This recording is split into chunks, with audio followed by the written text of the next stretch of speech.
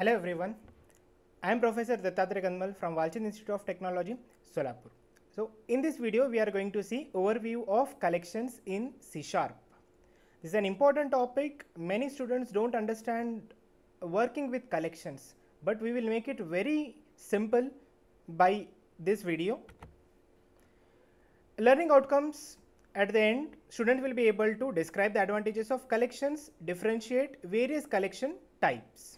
Okay, these are the two outcomes of this particular video. Describe the advantages of collection and differentiate various collection types.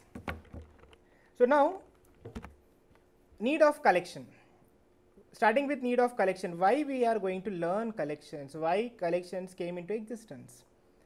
Since there are some limitations with arrays everyone is aware with using array right what array is array is nothing but collection of similar data type uh, data which is stored in a sequential manner right? So now there are some drawbacks with the collection. For example size of array is fixed. You have to define it well before right? We cannot change the size of array runtime.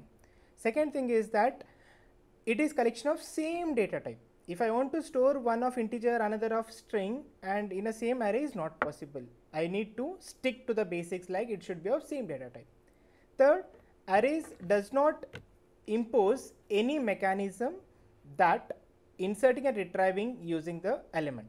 Now, if you are going to retrieve or insert at a particular position, arrays I will work sequentially. The time required to insert is done, but it is more, right? So now this is a simple example of arrays, how we declare array and how we store values into an array. int array equal to new array. Here we create it dynamically, so there this is an object, array is an object here, okay. So now if I want to store 10, 12, 15 and any other value into my array, it will be start from the zeroth index. So, so this is zeroth index, then first index and second index and the values are stored appropriately here arrays works as an object. Therefore we have a reference type stored to that particular array. Now so we are there are some basically three uh, drawbacks with arrays. One is that it is size is fixed. Second is that we cannot change the data type multiple data. We cannot have multiple data types. Only one data type is allowed. Third inserting and retrieving at a particular position is difficult in array so these are the three uh, disadvantages with arrays, simple arrays. Okay, so to overcome these uh, challenges and limitations in array, collections are introduced. Now, one more example of arrays, if I want to store string name equal to new string, if I want to store Sachin, Rahul, Saurav, Lakshman, so likewise zeroth index, first index, second index and third index. Okay, if I want to display all these elements using for each loop, for each loop is one more way, uh, it's similar to for loop. Here only it will run iteratively, int i in name. So i will work as a iterator. So console dot write line i, the value will be printed. So in uh, likewise, output will be Sachin, Rahul, Saurav, Lakshman. Okay. So this is this is how simple arrays work. But here if suppose I want to store 10, 10 will not be stored as an integer, it will be stored as a string. So only strings are allowed because arrays are of same data type. Okay. Now collections, coming back to collections. Collections overcome the limitations of array. Collection size can be increased dynamically. So the drawbacks of arrays are overcome in collection. You can increase the size at runtime. If suppose I have declared the size of collection as 10, and at runtime I want the size to grow. If I want to say I want to grow it to 50. So that is possible with collections. You can add any number of elements in collection. And another drawback of array, you cannot insert and retrieve uh, bins. It is difficult. Whereas here, element can be inserted and retrieved from specific location with ease. That is the biggest difference using arrays and using collections and different type of objects are also allowed in collection. So all the limitations of arrays are overcome in collection. Now what are different classes in collection? So collection is nothing but a superficial thing in which we have various classes. So collection is a namespace in which we have various classes like for example array list is there, stack, queue, hash table, sorted list but not limited to this. These are some important collection classes which we will be studying in the coming videos. Classes in collection. What are different co collection classes? Array list, stack, queue, hash table and sorted list. Now what array list is? What array list collection? Why we have so many types?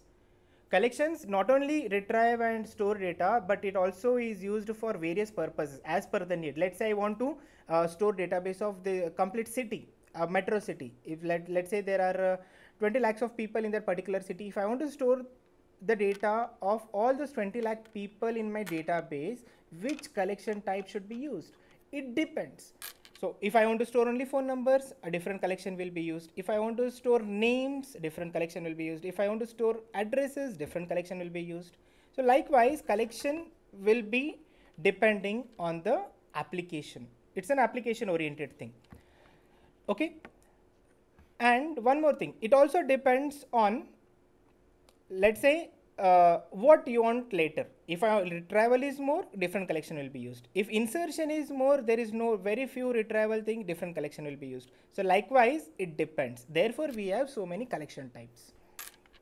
Okay. So now first coming to array list. What array list is going to do? Is array but can grow dynamically. It's similar to an array. It can grow dynamically. Second is stack. Stack works on the principle of last in first out manner. Queue works on the principle of first in first out manner. So if your if your application demands that the data how it is inserted should be retrieved in the same way, I will prefer queue collection. If application demands like data should be stored in a LIFO fashion, I will use queue stack. So hash table. Hash table works on the principle of key value pair. A unique key will be inserted based for every key there is a particular value. Let's say a phone number. For every phone number, there is a particular name associated. So key will be unique. Okay, name value can be repeated. Sorted list. What sorted list is going to do? It's an extension of hash table. Here, same key value pair principle is used and the result is sorted. Always the data is stored in a sorted manner. So if an application demands my uh, everything should be sorted, let's say for telephone dictionary, everything will be sorted according to the surname. So in that case, sorted list is preferred.